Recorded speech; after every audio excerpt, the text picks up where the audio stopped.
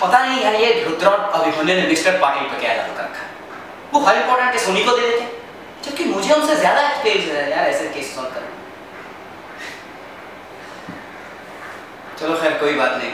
Mister Patil के प्यार। इस खेल के हम पुराने खिलाड़ी हैं। कब किसे कैसे मार देना, बहुत अच्छे से जानते हैं।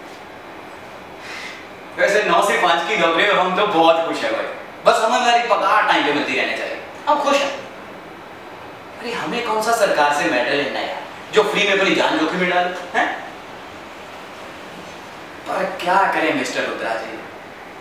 हम ये भी नहीं देख सकते कि आप दोनों हमसे आगे निकल जाए। और इसके लिए हम कुछ भी कर सकते